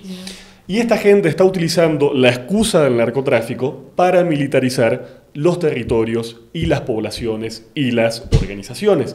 Lo están utilizando como coartada. Cuando te dicen que seguramente, creo haberlo leído, es la excusa de Novoa con el tema de la base militar. Si no es para perseguir a Hezbollah o alguna otra hipótesis delirante de esa índole, es para combatir al narcotráfico. Ahora, Colombia tuvo cuántas bases de la OTAN durante cuánto tiempo. ¿Alguien me puede justificar en base a una estadística que más bases militares es menos narcotráfico? Porque yo les puedo justificar todo lo contrario. Que mientras más bases hay, o casualmente, hay más narcotráfico. Entonces, ese fenómeno, además, está bien difícil, está creciendo, eso lo ha dicho Petro en Colombia muy lúcidamente. La geopolítica del narcotráfico está cambiando que es el otro problema. Nosotros tenemos la ficción de Ecuador va a solucionar sus problemas con el narco, o Argentina, o México. No, no, no, porque los cárteles no son el cártel ecuatoriano o el mexicano o el argentino, son transnacionales. Sí. Y están cambiando las rutas. Y están cambiando y ahora están utilizando, por ejemplo, Ecuador como una estación de paso. Ahora la droga está bajando por... No, en Ecuador ya sé, ya, ya hace ya. tiempo. Ahora empieza a llegar a la Argentina. Ahora Claro. la droga empieza a bajar por la cuenca del Plata para venderse hacia Europa o hacia África. E insisto, el fenómeno está creciendo porque es un negocio y es un negocio típico de la fase neoliberal del capital y además es una coartada buenísima para decir combato narcos, pero cuando reprimo narcos, reprimo organizaciones, dirigentes sociales. Ojo con la coartada del narcotráfico. O sea, este fenómeno no es, mm, porque nosotros muy ingenuamente decimos, claro, es un fenómeno debido a la falta de Estado en la educación, en la salud, ra, justicia social, todo eso que nos gusta también hablarlo, ¿no? Pero es un fenómeno más allá de eso, o sea, que es totalmente elaborado para, eh, con este último fin. un ejemplo concreto, yo lo charlamos el otro día, yo viví en Haití dos años. Sí. Haití tuvo en 2018 una movilización, pero brutal, gente, de un millón de personas en la calle, contra el FMI, las políticas neoliberales, el gobierno. Después de esa, justo o casualidad, esa mega movilización que duró meses, empezaron a llegar infiltrados, marines, paramilitares, mercenarios de Estados Unidos que estaban llenos de armas. Todo esto, gente, documentado, lo googlean y lo encuentran facilito, digamos, incluso en español.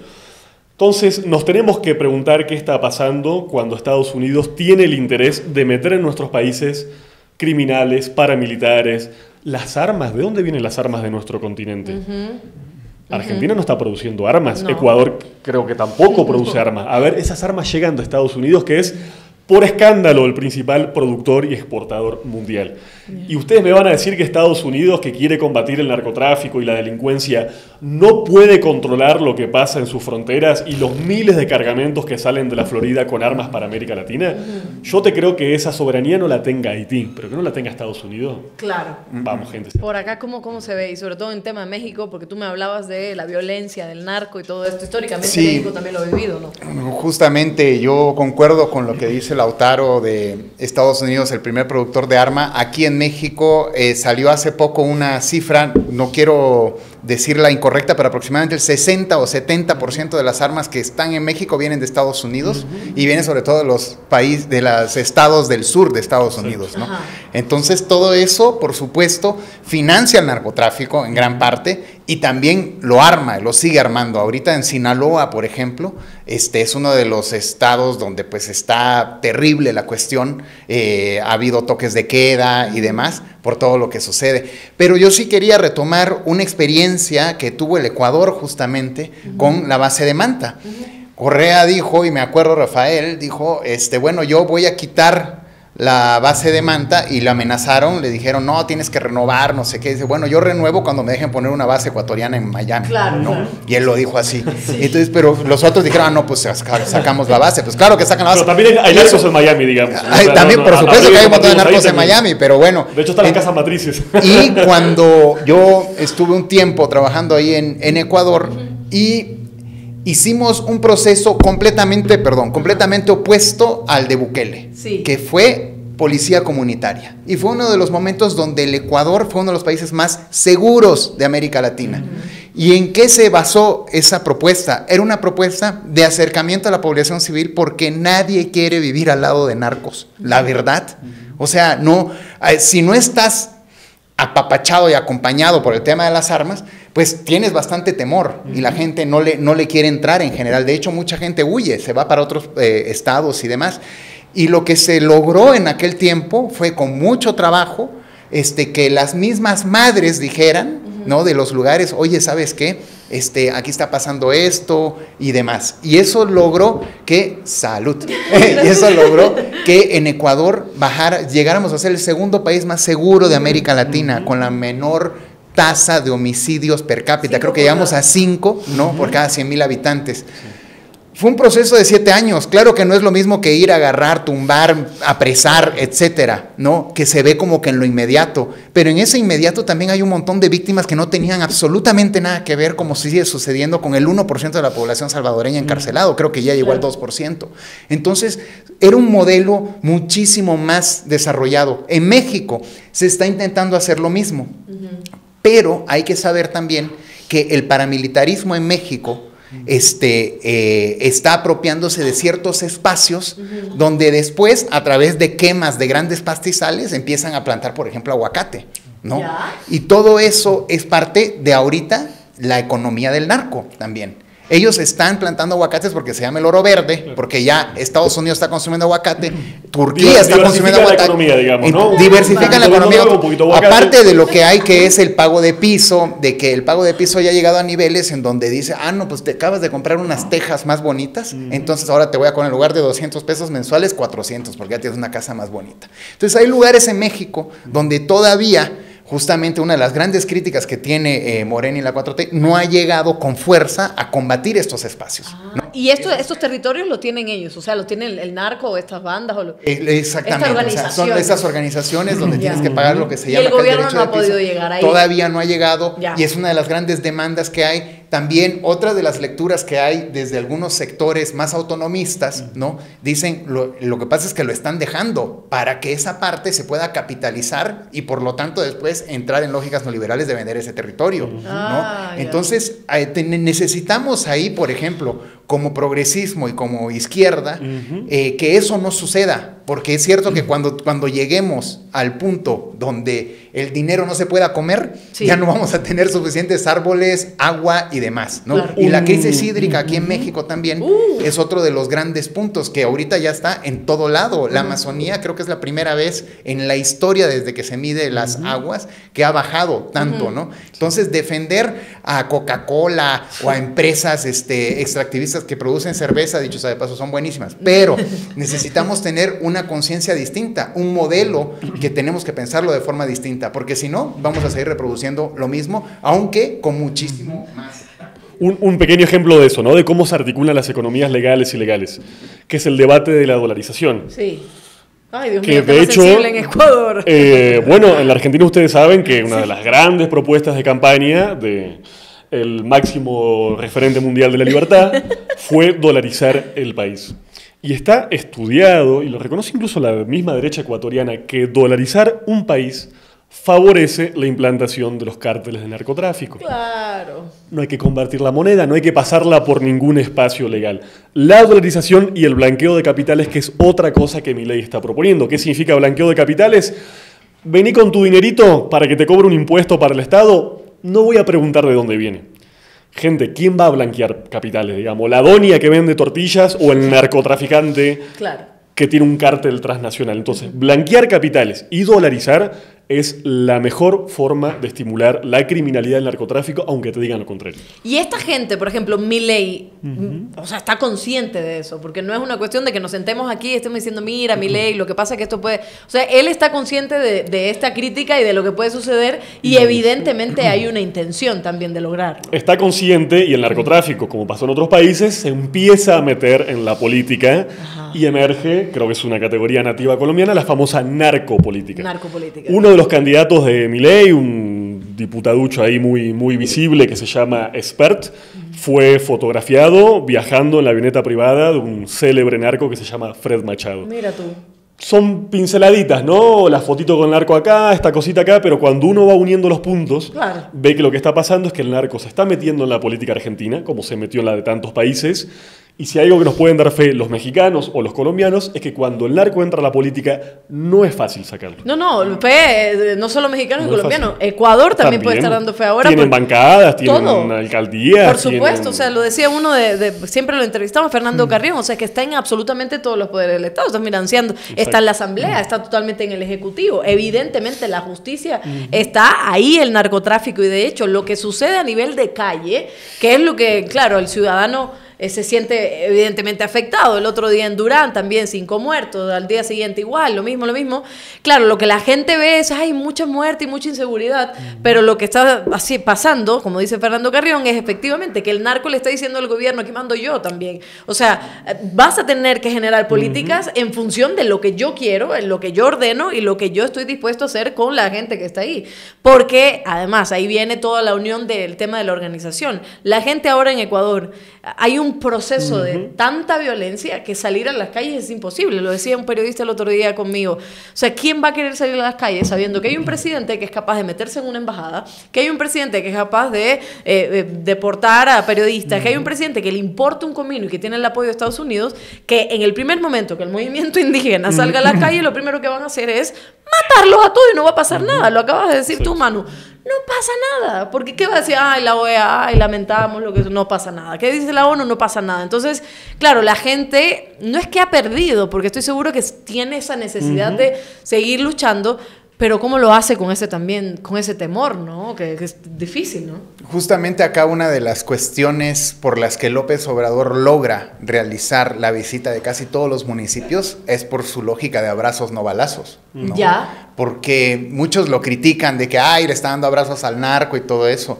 Pero hay que saber que por lo menos en México Sí. hubieron sexenios donde el narco y la policía y los militares en algunos sectores estaban así en la parte de las alcaldías y demás. Entonces, si tú llegabas con una lógica de vamos a apresar a todos los narcos, no llegaba, pero ni a la esquina. Claro, ¿no? O exacto. sea, lo, lo despachaba mucho antes.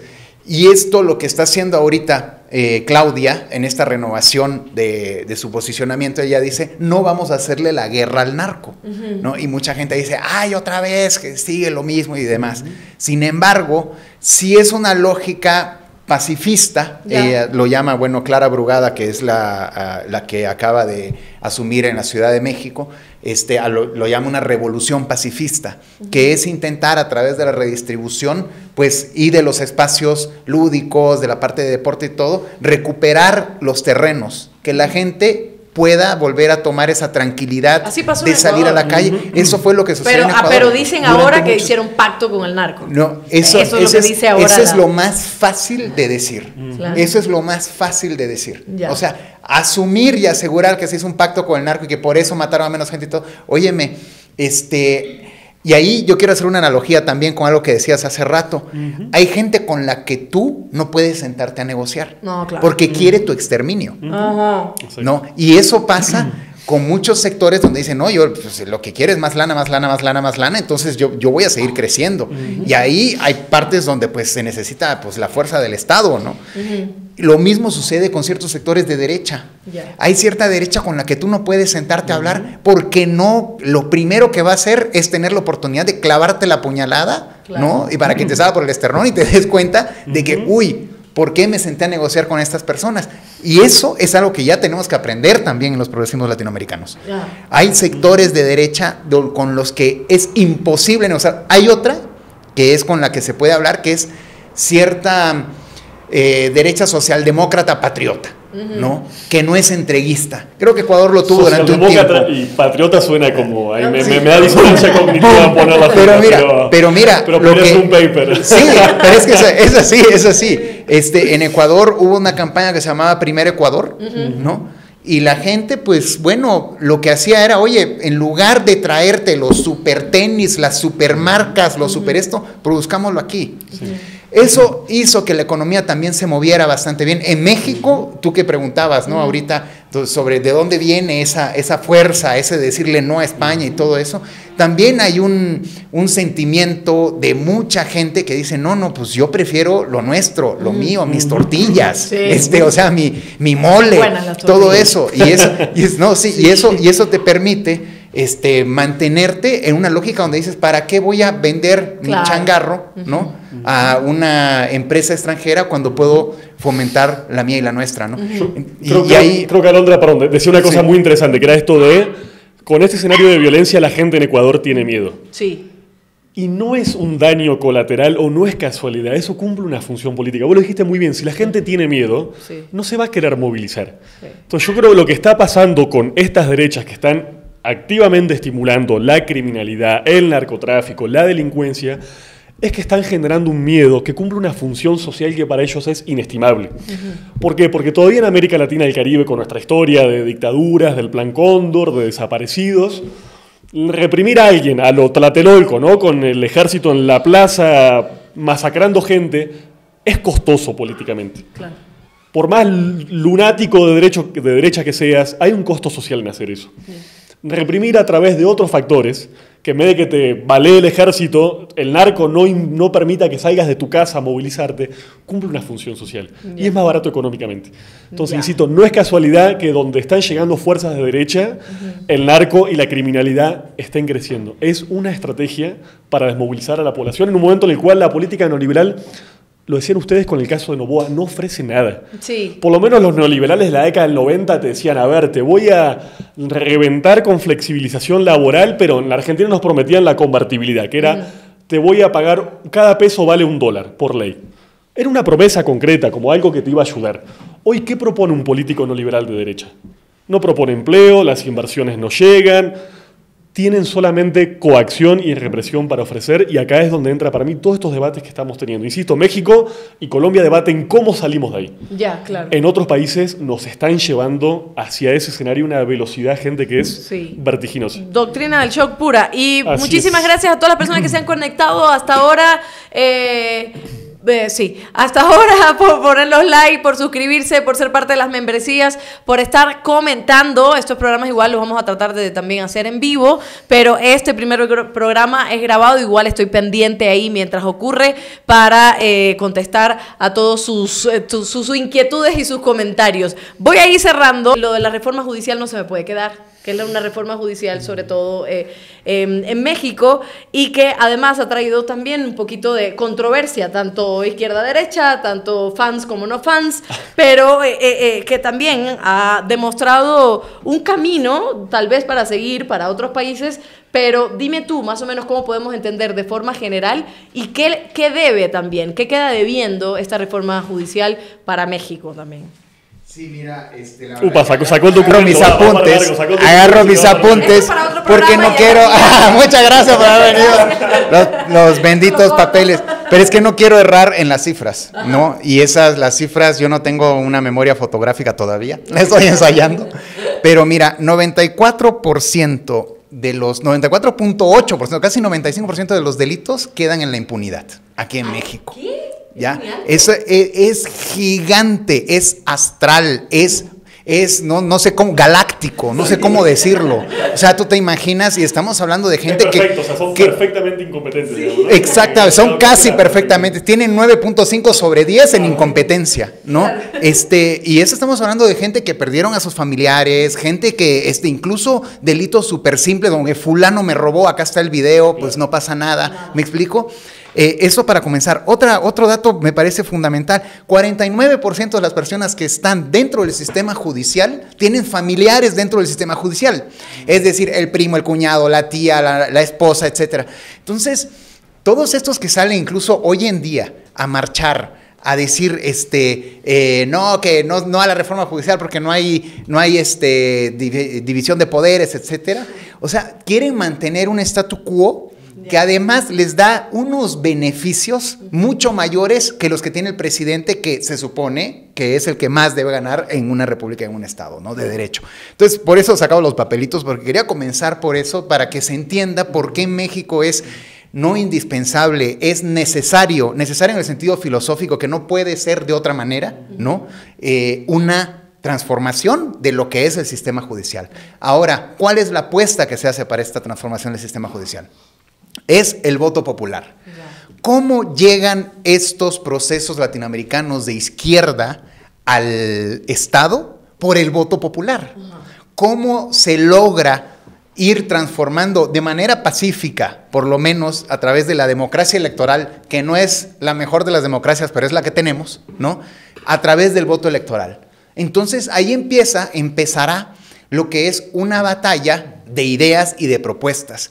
¿Qué es lo bueno y lo malo de esto? Por supuesto que tienes, es, estoy hablando de uno de los puntos, ¿no? Sí. Que es el punto más eh, sólido. Va, sería el primer país en que se escojan todos los jueces se llaman jueces, magistrados y ministros, ¿no? Que son, es una diferenciación de que el juez es el que está más bajo, el magistrado es el segundo nivel que aprueba o desaprueba lo que dicen los jueces y los ministros son los de la Suprema Corte. Entonces, eso es una forma de Lo poder... elegirían por voto. Lo elegirían por voto popular, Ah, por voto, pero ni el público ni el privado pueden financiar las campañas. Ah, yo, esa era mi- eh, iba a ser la pregunta. ¿no? justo, ni el público ni el privado pueden financiar las campañas. Quiere decir que se les va a dar tiempo aire en radios, en televisión, muy probablemente en redes sociales, se verá cómo se hace esa parte. Justo están ahorita en las reformas de las leyes secundarias para ver cómo se aplica, ¿no? Y es una innovación a nivel de humanidad, literalmente. Porque el otro ejemplo puede ser Bolivia, pero no todos eran elegidos de esta manera, ¿no? No conozco específicamente, pero en, México es así. Y además, ¿a quiénes les está interpelando? ¿A quiénes les está molestando? Pues toda la derecha y los sector- el- la barra de abogados de Nueva York llegó a sacar un comunicado diciendo, no, cuidado, que no hay independencia de poderes en México, etcétera. Entonces, cuando, es- eso creo que lo decía, eh, no me acuerdo si es Leonard Cohen, ¿no? Que uno se pone de un lado sabiendo quién está del otro, ¿no? Este, y yo en este caso estoy diciendo, oye, pero pues hay que intentar, ¿no? Algo distinto. Y claro, se va a renovar toda la estructura, que tenían unas cuestiones así de fideicomisos y super salarios y super eh, eh, pues propiedades y demás. Tengo una pregunta antes de que siga, sobre todo para entender esto, porque sí, estamos a favor de- de- del voto y la democracia y todo lo demás, pero tengo cierto temor con ese sentido. No conozco para nada el tema, eh, y por eso estoy preguntando, tema de reforma judicial, sobre todo en México, pero por ejemplo, ahí quiero que Lau me diga, o sea, el, el- el votar, y qué chévere, la democracia y todo lo demás, Pero ese voto también ha llevado a que esté un Milei, a que esté un Novoa, a que esté... Entonces sí me da un poco de temor que ese voto popular también esté eh, determinado no solo por estas campañas y por qué- quién tiene más dinero que otro, pero también por este concepto... Sí. Pa- Para mí es una muy buena pregunta porque es una pregunta del, del sentido común. Sí. ¿Esto va a hacer que el Poder Judicial sea mejor? Yo lo que respondo a eso es, nos preguntamos cómo avanzar de una institución falible a otra falible. No estamos diciendo que esto va a generar un Poder Judicial perfecto porque ninguna institución humana ni estatal lo es. Ahora, que va a ser perfecto yo no lo puedo garantizar. Sí. Que va a ser mejor que la gente elija y no que sean una especie de poder corporativo cuasi feudal, Sí. para mí no hay dudas de eso. O sea, por más mal que lo hagan, no puede ser peor a lo que estaba. Porque en todo caso se elegirá y se equivocará a través del soberano que es el pueblo de México, digamos. ya. No lo va a elegir eh, el familiar, digamos, no va a ser un poder autorreproductivo como viene siendo. Además, con esos números que dice Manu, yo, una cosita, creo que algo acá han hecho muy bien, porque en Argentina también se debatió la reforma judicial, pero muy vinculada también a los casos de Laufer. Y la verdad es que a la gente del común no le importa tanto si meten preso a fulano, a Mengana, por si era o no corrupto. A la gente le importa lo que Manu decía, que el 95% de los delitos queden en la impunidad. Yo creo que aquí se está haciendo una pedagogía muy interesante, de decir, che, vamos a hacer esto para mejorar la vida de la población, no para que la reforma de Morena o a tal candidato no lo persigan, es para ustedes, es para el pueblo de México. Para mí es una pedagogía indispensable. Si lo Ya. hacemos para decir, es para que la política o el progresismo o a mi partido le vaya bien y a la gente no le va a importar, no se va a identificar con esa reforma. También hay una cuestión que quería nomás comentar, de que hay una especie de meritocracia ligada a los poderes fácticos, Ya. ¿no? O sea, todos los que están ahorita en el poder judicial se alinean completamente a la derecha, a una derecha corrupta. Hay un término aquí en México que se implementó que se llama el sabadazo, que Ya. es los sábados vamos a liberar así porque las instituciones no funcionan, nadie está cubriendo, los medios están echando la hueva, o sea, está todo el mundo no haciendo nada y de repente el sabadazo era de que, uy, un tal corrupto condenado, shh, arresto domiciliario, ¡pum! Se Claro, fue. sí. Y se, entonces... Es lo mismo en Ecuador, los viernes, sábados, por ahí. Los viernes Justo. nadie le importa un comino nada y hacen cualquier cosa de esto. sí. Entonces, esta es una forma de decir, a ver, bájenle dos rayitas, señores. O sea, necesitamos Sí, ya. aquí hacer una transformación profunda. Y como bien dice Lautaro, y, y concuerdo plenamente, oye, es algo distinto. Necesitamos Bien. cambiarlo, necesitamos hacerlo. Ya. Aunque puede ser que no sea. Y siendo igual de pesimista que optimista, claro que puede entrar algún tipo que, "Ugh", horrible, pero también puedes tener a una persona súper competente que además va a tener el filtro de que tenga ciertas cuestiones, ¿no? No, no vamos a Sí, poner sí. únicamente a un biólogo marino como juez, me explico. Necesita presentar un CV, este, necesita decir eh, por qué va a aplicar ese puesto y todo, y la Cámara de Senadores y de Diputados van a decir, ah, pues estos sí pasan y los otros pues no. Claro, no, y es también darle la oportunidad a la gente de, bueno, o sea, es parte también de la democracia. Ay, coño, me equivoqué en esto, el- después vuelvo y después aprendo y todo lo demás. Es que si no eso. volveríamos al voto censitario. ah, la gente sí. se puede equivocar, entonces que voten los que tengan título de doctor, ¿no? Sí, Digamos, o sea, exacto, eh, no es la democracia. Y hay unos Estamos doctores que son unos miserables. A ni hablar, digamos. ¿Para qué les voy a contar? Oye, pero este tema de, de la reforma es para largo y, y ya hemos hablado también un montón, lo tengo anotado por acá. Entonces, la verdad me ha gustado, solo voy a hacer una pregunta a cada uno y es que me crucen un poco las perspectivas que tienen también. Argentina, ¿qué perspectiva también tiene de este nuevo gobierno de México, de Claudia Sheinbaum? Y tú, Manu, también, lamentablemente te tocó, pero ¿qué perspectivas tienes de un Milei también en, en Argentina? Lau. adelante. Yo opino de Tienes México. un minuto, sí. un- sí. Bien. Creo que hay tremendas capacidades para hacer un montón de cosas. Que en otro momento uno podría decir, no la famosa correlación de fuerzas, que es la, la forma cómoda y sofisticada de decir no quiero hacer cosas porque no tengo ganas. Hoy la correlación de fuerzas en México da. O sea, lo que da el Estado en términos de poder y capacidades, más allá de lo que discutimos del narco, ¿eh? lo tenés. O sea, mayoría calificada en ambas cámaras. Tenés altísimo nivel de aprobación social, un partido de masas, tenés casi todas las gobernaciones. ¿Tenés con qué? Yo creo que la reforma judicial es un pendiente enorme, coincido que es una reforma la más radical que se está planteando y me parece que va en el buen sentido. Creo que lo, la paradoja feliz de México es que nadie puede decir no tenemos la posibilidad de hacerlo. Hay posibilidades, si no infinitas, muy positivas para avanzar en un montón de sentidos y coincido con Manu que avanzar en el pendiente de la seguridad, de la violencia, no solamente es importante, sino, y esto con esto cierro, lo decía la gente de la CEPAC, es el flanco débil del gobierno. Que hoy se ve fuerte, que se ve imbatible, capaz yo vengo de Argentina y por eso estoy pesimista, aún en un país donde todos están de fiesta. Creo que en un largo plazo ese puede ser el talón de Aquiles. Si lo cubrimos, el proceso puede ser invulnerable, pero hay que cubrirlo. Hay que cubrirlo. ¿Y a Argentina cómo le ves el futuro? Bueno, primero Suave, quisi- Manu, suave, suave, suave, suave, suave. Quisiera cerrar diciendo Así, que... en la mierda, eso es todo. de la chingada, se dice acá. De la chingada. No, mira, este, quisiera cerrar diciendo que aquí en México te- esa expectativa de que Claudia realmente, eh, que es una técnica y que viene de la... De, de la parte de la izquierda mexicana también, eso es algo muy positivo, logre eh, dar una respuesta muy positiva para lo que es las regiones como Chiapas, las regiones como Sinaloa, donde hay muchísimos conflictos todavía, ¿no?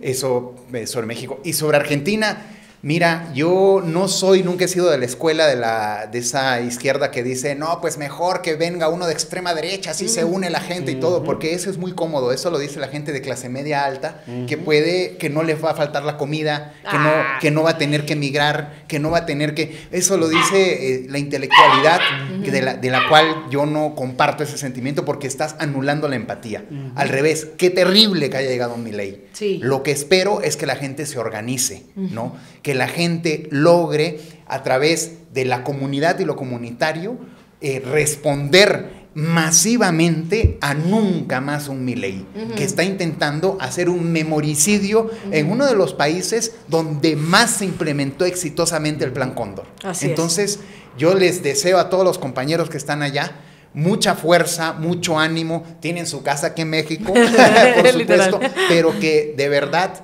no dejen de organizarse. La organización es lo único que Claro. va a lograr que venzamos a este neoliberalismo. Estoy emocionado. Lloremos todos, organicémonos. No, se me, se me.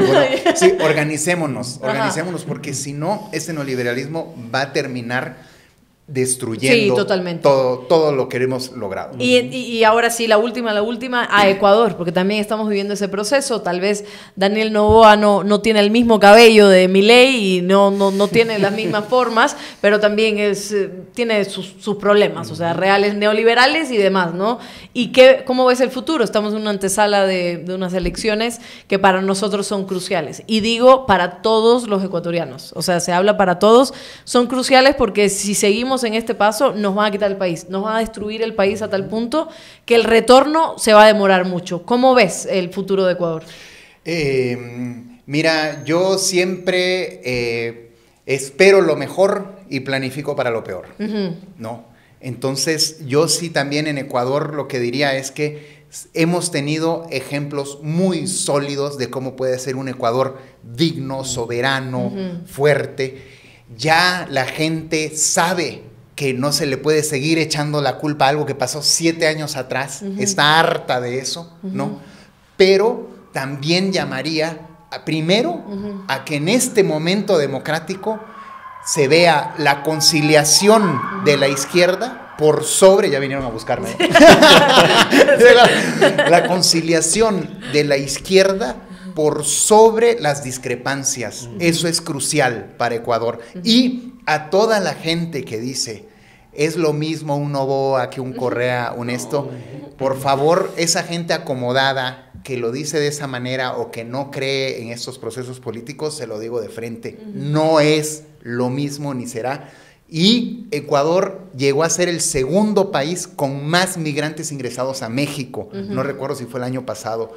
Y eso es toda mi solidaridad con, solidaridad con nuestros compañeros migrantes que no se van porque quieren el sueño americano. La gran mayoría quisiera quedarse con su abuela, con su tía, y se los digo como hijo de migrantes también, ¿no? Queremos, queremos quedarnos en nuestro terruño. Yo, a mí me encantaba comer, por ejemplo, el ceviche de conchas negras ahí de esmeraldas, este, el encocado de Manabí, o sea, Claro. de, esmeraldas también, de hecho. Entonces, todo eso lo que nosotros queremos es estar en nuestra tierra, Sí. estar con nuestra gente, y eso se logra. Y otra cosa es, por supuesto, viajar y conocer otros países, pero eso se logra con gobiernos que tienen mucha más conciencia política que estos que hacen las cosas al Exacto. chingadazo y sometiéndose, justo lo comentabas en algún momento, todo lo que dice otro, eh, los estadounidenses para tener la green card, eh, aplican estos, estos líderes. Totalmente, el tema de la migración importantísimo. ¿Y tú qué piensas para, para Ecuador? ¿Cómo le ves? Yo creo que, y lo voy a decir desde afuera, digamos, son buenos momentos para aplicar la vieja solidaridad internacional. Creo que venimos de, de décadas en América Latina donde nos gustaba mucho ser amigo del campeón, ¿no? Había una revolución, un proceso de cambio y todos queríamos ir a Venezuela y ser ultrachavistas, todos queríamos ir a Bolivia. Bueno, esos tiempos pasaron, estamos en un momento realmente muy difícil con felices salvedades y es momento de ejercer solidaridad en los tiempos malos, digamos. Hay que estar atentos a qué pasa en Ecuador. Si hay una denuncia de golpe de Estado en proceso en Colombia, hay que hacer cosas. Yo lo pongo desde afuera, digamos. No sé qué tienen que hacer los ecuatorianos. Sé que tenemos que hacer los latinoamericanos, los caribeños, latinoamericanas y caribeñas, que es ejercer nuestra máxima solidaridad. Porque la derecha tiene un proyecto global no tiene un proyecto para Ecuador, tiene un proyecto global y que como veníamos charlando es muy violento y muy reaccionario. Si nuestra solidaridad no está a la altura de esa mirada global, de nuestras mejores tradiciones internacionalistas, creo que estamos un poco jodidos. Pero creo y tengo fe de que la memoria es un hilo muy fuerte y que no se corta tan fácil y que vamos a estar a la altura de las circunstancias. Y mientras hay estos espacios, creo que, creo que es muy bueno también para hacer ese ejercicio de memoria, a pesar de que pretenden quitárnosla. Y eso es, el- creo que lo único que no deberían hacerlo. Así como decía alguien, lo que, como decía el que sabemos, que no nos quite, que nos quiten todos menos la esperanza. Pero la memoria, señores. Y a través de la memoria también está la esperanza. Ay, a mí me encantó este programa, la verdad.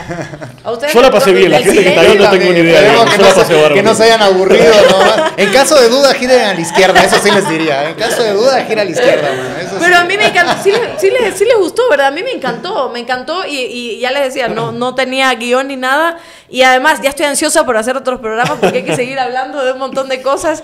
Entonces, de verdad les agradezco muchísimo este primer programa de la embajada y aquí los embajadores que, que hablamos de todo un poco, ¿no? Entonces, te agradezco Lau te agradezco Manu de verdad por estar en este espacio y sobre todo por estar en, en esta que es su casa, como dicen los mexicanos, eh, y es la casa también de ustedes, es Ingo.es aquí en este programa, nuevo programa, La Embajada, que espero que lo vean.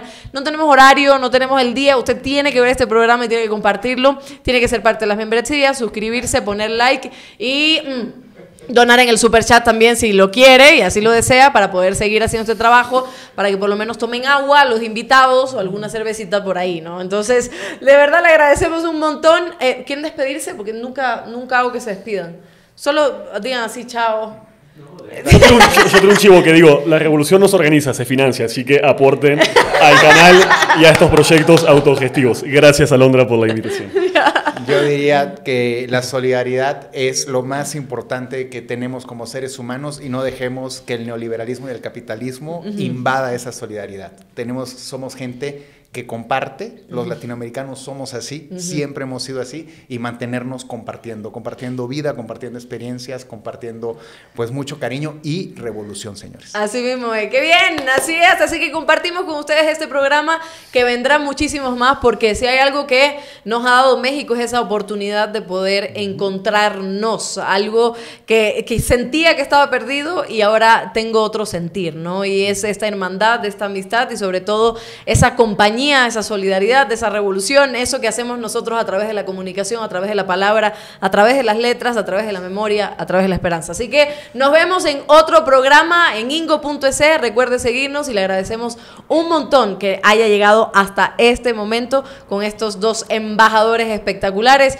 y sobre todo agradecer a los que están detrás de cámaras que cuidaron a la perrita en todo momento, que ha hecho un relajo, ya no hay planta, ya no tengo tomó casa, toda la cerveza. se tomó la cerveza y de verdad le agradecemos a la gente que está ahí, el Enzo, querido Enzo, que ha pasado por, por, por la cámara de Lau mil veces, y a Dia- Diana, ¿verdad? No dije mal el nombre. Y a Diana, que también va a ser nuestra invitada, porque han cuidado a la perrita para que no haya tanta bulla. ¿Sí ves? Es, y por supuesto, pues, al amor de mi vida, que tiene en este momento la perra en la mano para que no haga bulla, y ha preparado todo esto, las cámaras, el set, así es, a mi Gracias, tupi Tupac, querido. Gracias.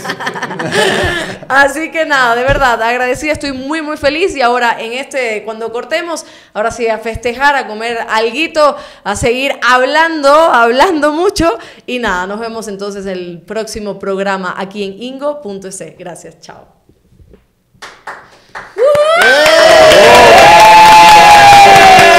Muy bueno, muy bueno.